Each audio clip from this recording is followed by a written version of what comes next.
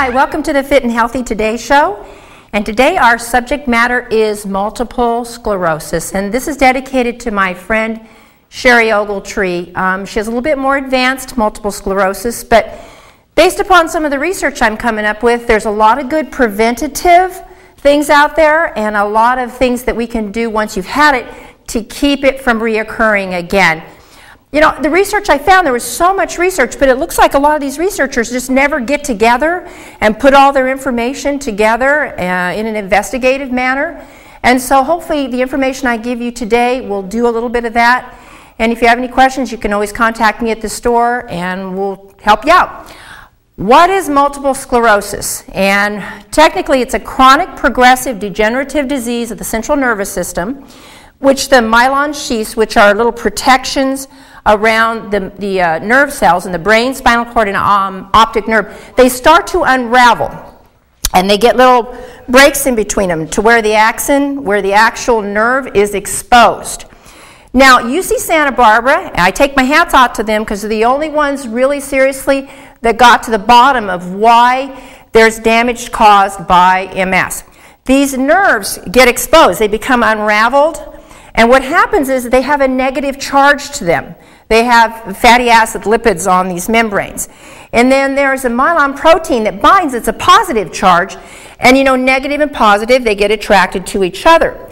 Well, what happens is, is when the little um, myelin sheath is unraveled and has been damaged, it, this positive charge kind of acts like glue and it sits in there and it causes scar tissue and fibrin buildup and literally renders the nerve not usable any longer. So the key is, is to prevent these fibers from unraveling or to repair the unraveling of these fibers. Um, what's interesting about multiple sclerosis is a person can get all the symptoms and then never have it again. It can go into remission for 10 years, two months, never. So very difficult for doctors uh, to diagnose as well. So the key is, is Prevention, if you get it, to stop it from progressing, and if you've got it progressed, to stop it from further progressing and maybe do a little bit of repairing. So, very common in countries that have northern latitudes, um, very common in countries that have a high saturated diet in combination with carbohydrates. It's kind of funny, there are countries that eat really high saturated diets and have very low saturated fat diets and have very low incidence of multiple sclerosis. But when you add those carbohydrates along with those saturated fats, it seems to be extremely inflammatory to the nervous system for a lot of other things as well too, um, diseases and disorders that we have in this country. But also, too, knowing that it's um, northern latitudes, the Northern Europe, uh, United States, Canada, we also know that those areas get a lot less vitamin D. Now, getting less vitamin D because the way the latitude, uh, the angles of the sun are. So, we're going to talk about further about how much vitamin D you need to supplement with. But I've got to say, that is probably one of the most important things to recognize is if you live in the northern latitudes, which we do here in Lompoc, you got to keep the vitamin D levels up. Um, symptoms. Now, oftentimes it'll start with you know a little blurry vision, a little dizziness. Your, your speech gets a little bit kind of impaired, and you just kind of a little bit of numbness. And those are kind of the initial symptoms that you'll get with it, and then it may go away, and you may never know that you ever had um, symptoms of multiple sclerosis. More advanced wise, you get tremors, vomiting, inability to control the bowels, uh, infections in the bladder or incontinence issues occur, and then oftentimes then you can become wheelchair ridden when the nerves have sustained a lot of scarring or damage to them. So, let's go over here and we're going to discuss some of the causes. Now, we truly don't know a lot of the causes, but I got to tell you, based upon the research, that I came across, I think most of the uh, issues have to do with diet and nutrition. Um, that vitamin D deficiency, B12 deficiencies. A lot of people have a lot of digestion issues, and when, you're B, when you have digestion issues or something called leaky gut, you do not um, utilize vitamin B12. And vitamin B12 is very important for the nervous system and myelin uh, repair and response and reaction. So, poor nutrition and the lack of good fats in the diet and the increase in carbohydrate intake and saturated fatty acids, in my opinion, leave you wide open to multiple sclerosis, a lot of other things, but multiple sclerosis. I think, in my personal opinion, based upon the research, if that diet is in order, you got D and B12, you're eating your nuts, you're good, clean fish, I don't think you're going to get MS.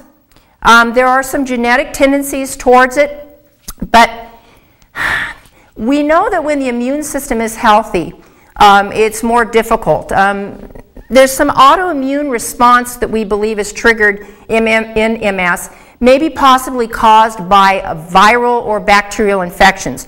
We know people with Epstein-Barr or uh, chronic fatigue syndrome have a much greater chance of getting multiple sclerosis later on. So we don't know if maybe these viral or bacterial um, left untouched and left alone when the immune system all of a sudden starts attacking itself could be attacking these myelin sheaths and eating away the, and unraveling as well when the nutrients just aren't there to feed these nerves. Environmental toxins and toxic metals, they prevent the, the proper firing of the nerves sometimes as well too. And so determining whether or not, and there are uh, blood tests that you can have conducted that can test for this toxic metal exposure. Environmental toxins, uh, here in the United States, it's pretty difficult to avoid them because they're in all our foods and everything else. Water, fabrics, everything. So when you can eat organic, please eat organic. Chemical free, what you're putting in your mouth, and then know where you're getting your foods from. Uh, fast food restaurants, I was watching something on Netflix, and I got to tell you, what they're adding chemically to the food and the way they're raising the food and processing this food and then handing it out and calling it food, it isn't food. It has no nutritional value, basically, other than full of chemicals and garbage. Um, food allergies. Now, we find a great portion of people that have multiple sclerosis are also milk, egg, and gluten intolerant. So it is really, really important if you are gluten intolerant to avoid wheat and gluten producing foods. If you have MS, I would definitely get tested for gluten intolerance. I think it's paramount that you do so. Because when you're gluten intolerant, you will be in, and you eat gluten, you will be inflamed all of the time. No exception. And if you're inflamed all the time, you open yourself up to autoimmune issues and damage to your nervous system. Um, some indication that some immunizations might trigger this, and we don't know per se if it has to do with the mercury and the adjuncts that they put into the immunizations that trigger these neurological issues. Um, we saw recently a cheerleader that was vaccinated with the flu vaccine all of a sudden you saw it on, she was walking, could not walk forward anymore. She sustained muscular and neurological damage caused from this vaccine or the adjuncts that were put in the vaccine. So being aware, immunizations could be a contributing factor to these nervous system types of disorders. Um, hormonal imbalances. Um, we're talking about thyroid, progesterone, estrogens, and we'll talk about later on some of the supplements that are utilized hormonally that seem to affect um, uh, MS or relieve some of the symptoms of it. But basically, when we have all these chemical estrogens going into our body from pesticides, herbicides, we get inflamed. We get out of balance. Our immune systems won't work properly. Our thyroid, everything gets out of balance. So getting rid of these chemical estrogen mimickers, by, you know, all of them, the plastics, all of them, you need to remove as much as you possibly can um, out of your diet. And I'm not being an alarmist. I'm just looking at the science and some of the reports I know that Ralph talks about and that I give you. It isn't good. You need to dispose of as much chemicals as you possibly can and eat as clean as you possibly can and use cleaning agents when you clean your homes and your, and your laundry that are as chemical free as possible. In the diet, obviously you're going to avoid all foods that are uh, allergy producing or if you are gluten intolerant, milk intolerant, egg intolerant, you don't include them in your diet. Um, avoiding, if you have MS, you need to avoid eating red meat, fried food, saturated foods, saturated fat foods, and you need to eat tons and tons of raw fruits and vegetables and good, clean, extremely lean meats if you eat any meat at all, fish and chicken maybe. But mostly a vegetarian diet when you have MS seems to do the trick. Now, I'm not talking about the vegetarian diet where you're grabbing the pastas and the sugars all day long. That's not what I mean. I'm talking about good, wholesome fruits and vegetables, not refined junk food. That's the worst thing you can give your body under any circumstances, particularly if you have multiple sclerosis. I am of the belief that if you listen to what I have to say here, that if you have had beginning stages of MS, you can stop it from occurring further, or you can do some prevention. Based upon all the research I have gathered, I truly do believe that. So please listen closely. Um, avoid all alcohol, caffeine, or acid producing foods. Um, eating nuts, clean fish, fiber. This country, because we don't eat fruits and vegetables, our fiber content is very low 30 to 35 grams of fiber we're supposed to get in a day to maintain good bowel function. I can tell you, most people out there on the good old fast food diet, they're lucky if they're getting 10 grams of fiber. And they come into me and they talk about all their issues with their stomach and they can't have bowel movements, they've got blood pressure issues, and they wonder why. Well, we've got to keep fiber high. We've got to keep the toxins moving out of the body so that they don't get reabsorbed. Supplement wise, oh my gosh, there are so is so much research out there, and everything I'm listed on here, you can go online and you can confirm the research. And so I've tried to pre uh, present as much of it as I possibly can so that you can look it up yourself. Fish oils, 50 to 20 grams, and I'm not talking about just taking a couple of fish oil pills a day. I'm talking about buying the liquids and you're going to take the fish oils. There's some real good tasting ones out there. They reduce inflammation and they provide the fatty acid material for myelin sheath repair. Repair. They increase uh, prostaglandin 1 production, and if you do away with some of these meat fats and saturated fats, oh man, the inflammatory will go down so substantially. Borage oil, evening primrose oil, in combination with the fish oil, reduces inflammation. B12. Um, B12, once again, we talked about how that may be a contributing factor in, for people getting MS. Um, when you have it, um, this should, uh, 4 to 800 micrograms of sublingual. There's a methyl source of sublingual B12, melts under the tongue, helps with nerve repair and reduces. It's key in myelin sheath formation. If you're B12 deficient, you're going to have nerve issues and nerve problems, and your MS is going to trigger and continually hurt you. A good multiple vitamin high in B vitamins, and if you'd like to take an extra B on top of that, that would be a doggone good thing because since our foods are so nutritionally deficient, oh man, you need to be getting those additional, and I don't care what the doc says on this because they're wrong. Our foods are not, I was in agriculture, our foods and our soil are not what they used to be. You cannot get your, your nutrients from food anymore. You can't, not unless you're getting totally sustained organic produce. And I don't know any place here in, in Lompoc or anywhere within 100 miles of here that grows sustained organic produce in a full range. Doesn't exist. Alpha lipoic acid, Fights neuropathy. We use it a lot on diabetic neuropathy, and it's a very strong antioxidant. Uh, my son, uh, Derek, at my uh, Grover Beach store, there was a, uh, a, former police officer that came in and he could barely walk. He was using just unbelievable amount of pain. And he was complaining his nerves were tingling and everything. And on a hunch, together they worked out and he started taking alpha lipoic acid. Three weeks later, the man walks in, upright, with one cane. And I know that sounds like kind of like one of these religious types of, of healings, but it wasn't.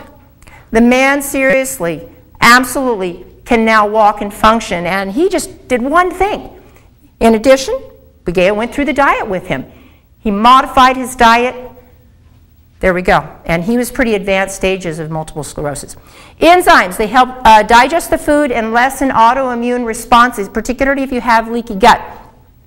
NADH, uh, Boston Children's Hospital did a wonderful study in 2006, and basically what they found was NAD protected against long-term disability for MS patients.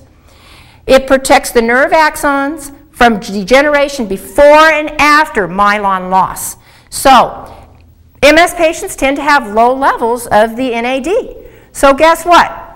There's a supplement out there in, in health food stores that you can take that can help with myelin repair. Vitamin D. 400, a study done in the Journal of Neurology, 400 or more decreased MS by 40%. The reoccurrence and uh, ever coming down with it. Bromelain eats fibrin, the scar tissue. Bromelain and nattokinase eats fibrin around the, uh, the nerves. We can eat it up. We can repair it. I'm of the firm belief, no matter what they say, that MS can be reversed if given the proper nutrition. Ginkgo biloba, University of San Diego study show, uh, showed 240 milligrams a day showed cognitive and memory decline ceased. Increase in attention. Increase the ability, because a lot of MS patients have memory issues.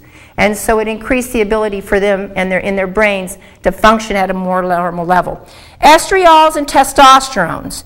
Natural hormones, um, estriol is a natural hormone that the body increases at time of pregnancy. So a lot of pregnant women have decreased symptoms in, in, in MS. So it's a natural estrogen and then testosterone, you can read right here, absolutely stopped or slowed brain atrophy in men, particularly. The study was done on men. Those, and never showed any increase in prostate issues against all of what they try to tell us about prostate cancer. Good bacterias, keeping the good, um, uh, good vitamin C's. And see the levels I have on here, 400 to 10,000 milligrams. It lowers edema and allergic response. Edema is swelling and inflammation. Phosphatidylserine and choline help around the myelin. They also help with short-term memory. It's a key fatty acid. CoQ10 and glycine have additional research as well. I wish I had more time to get into this a little bit further, but here's it in a nutshell. Take it and do with it what you will and what you can. We're going to be moving next on to our fitness portion of our show. Thank you very much.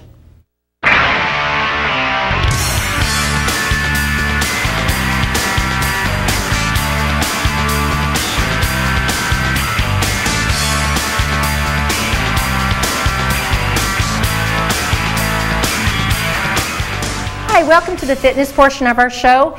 And today, hmm, as you know, every week I get, I focus on, on certain things that customers talk to me about. And a lot of my ladies are coming in with a lot of pain being caused by the real high boots and the real high heels, and they're having a lot of foot and ankle pain.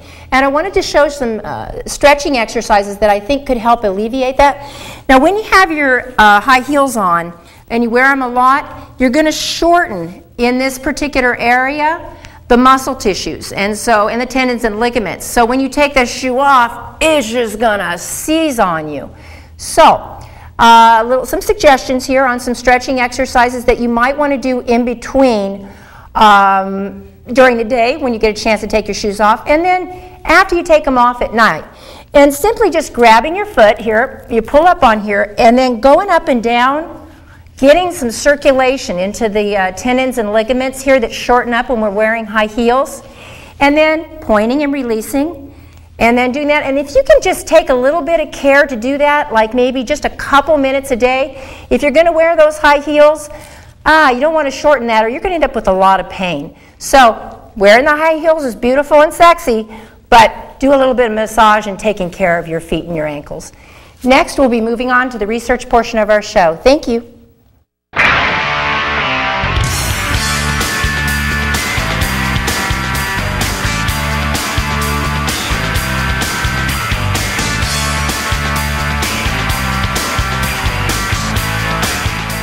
Hi, welcome to the church portion of our show, and with us today, thankfully, is Ralph Turchiano. Ralph? Thank you for the intro. Now, where we left off last time was on GERD. What I brought up last time was the UT Southwestern Medical Center came out with some interesting research on what's actually probably the main cause of GERD. Now, normally, this gastro or reflux esophagitis is thought to be caused by stomach acids. At least that's what people have been taught in medical school. Now, what they did was an interesting experiment. They actually took stomach acid and applied it directly to basically the esophageal lining, expecting to see some sort of chemical burn. Just much like you take battery acid and you pour it on your skin, the damage is immediate. It didn't happen. In fact, it did not happen for weeks. What they discovered is that GERD was not caused by stomach acids at all, but I'll say exactly what they said. They said rather the gastroesophageal reflux spurs the esophageal cells to release chemicals called cytokines, which attract inflammatory cells to the esophagus, meaning obviously inflammation. It is those inflammatory cells drawn to the esophagus by cytokines that cause the esophageal damage that is characteristic of GERD. The condition is manifested by symptoms such as heartburn and chest pain. Quote unquote, Dr. Stuart Spechler said, that doesn't make sense if GERD is really the result of acid burn as we were all taught in medical school. So something to really think. And also make you double think too, a lot of those commercials on TV claim it to be the healing pill because it neutralizes your stomach acids. Well, think about it. If esophageal erosion is being caused by inflammation and not stomach acids, then how did they come up with their studies that these pills actually help you heal? Yeah, you take acid away from basically an open wound, it helps solve the burn, but does not cause stop the reason why it's happening to begin with. All right, moving on. It's Christmas time and people are buying toys. Well, here's a little reminder. They came from basically the U.S. Consumer Product Safety Commission. In 2007, most of your toys that were recalled, in fact, almost all of the toys recalled in 2007 were manufactured in China. Why? Well, the majority of those reasons, outside of small parts and things like that, which obviously can be design flaws, they still continue to use lead paint. So, when thinking about the safety of your children and making sure it's a good Christmas for many years to come, think about where those toys are manufactured. If the country has not learned its lesson after all of these decades about what this does, are they going to start learning it by tomorrow or the next time or the next time? I don't think so. Following up to our next article. Young adults' blood levels linked to depression and panic disorder. This came from the Archives of General Psychiatry and the JAMA Archive Journal. This just came out December 7th. What they discovered was this the children that had the highest lead levels in their system, and they did this study between 1999 and 2004. In fact, let me not even paraphrase, let me read it directly to you. It said the average blood level was 1.61 micrograms per deciliter. So the average kid out there had 1.61 micrograms of blood per deciliter in their system. The one fifth of participants with the highest blood levels, we're not talking a lot, we're just talking 2.11 micrograms per deciliter or more, had 2.3 times the odds of having a major depressive disorder and nearly five times the odds of having panic disorders as composed to those with the lowest lead levels. Interesting to correlate ADD and mental disorders in children. Often we look at a lot of things like vaccinations and things like that, but would it be bizarre if there was actually a causative relationship with our increased number of imports from China, i.e., lead painted toys, and the number of mental disorders happening in our children in the United States? Interesting thing to think about, and if you can, Go for toys. Don't to buy it here domestically, even though made in USA is better. But look at where you get those toys. All right. After that, now we go to the antidepressants. May increase risk of stroke and death. There was a study that came out that examined 136,000 postmenopausal females. The title of the article said they had a small but significant increase for stroke and death compared to those who do not take the drugs. Well, let's look, at, let's look at what that small meant. All right, the study examined 136,000 women between the ages of 50 to 79 for six years. All were off of antidepressants when they started. The researchers did not find any difference in coronary heart disease. However, they did observe a significant difference in stroke rates.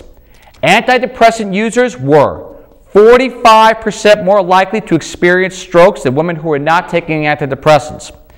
The study also found that when the overall death rates, cause of all mortality, were added in, the women taking the antidepressants had a 32% chance of dying from all other causes. Now, you can take that as being a small statistical difference if you like. I don't think it's very small. And now, congratulations to Hawaii. Hawaii H1N1 resolution advances vaccine exemptions favoring Americans' growing demand for health freedoms. What happens? Department of Health officials tried to make vaccinations mandatory, but the County of Hawaii directors overruled it, favoring First Amendment constitutional rights and vaccination exemptions for everyone demanding them.